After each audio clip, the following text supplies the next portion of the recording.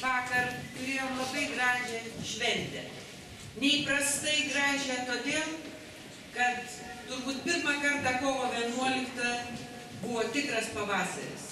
Saulėta graži diena.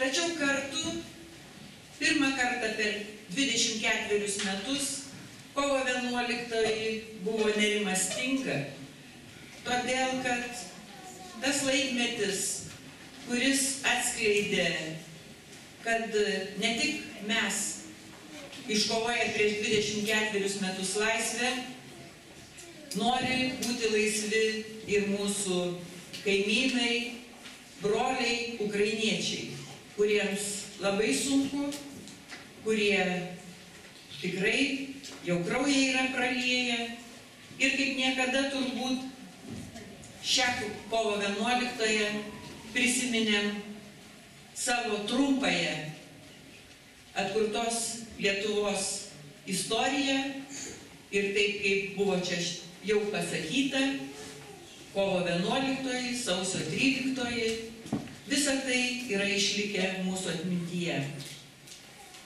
Tada buvo įteikta mums laisvės dovana. Laisvės dovana šiem vaikam ir kitiem Lietuvos vaikam, bet ta dovana nėra duotybė. Ta dovana reikia saugoti, kad ir jų vaikai nebeatkurtų laisvos Lietuvos, o gyventų laisvoje Lietuvoje. To aš noriu visiems mums ir palinkėti. Ta, ką turim, branginkim, saugokim ir puoselėkim. Ir su didžiausiu džiaugsmu ateinu į mokyklas, kurios su meile švenčia mūsų valstybės, atkurtos valstybės gimtadienį, laisvės dieną. Ir kai dar išgirsti, ką tik tai dainuota tremtinių daina, tai aišku, kad tų vaikų širdelėse meilė Lietuvai visada išliks su praėjusią šventę ir su gyvuojančia ir gyva nepriklausoma Lietuva.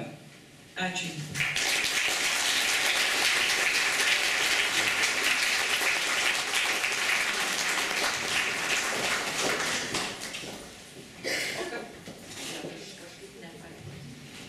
O čia yra mūsų kovo 11-osios nepriklausomybės aktas su visais parašais tų mūsų nepriklausomybės akto signatarų, kurie buvo ryštingi, buvo vieningi ir, kaip aš sakau, tą dovaną mums visiems padovanojo. Tai šią dovaną noriu įteikti mokyklos direktoriui.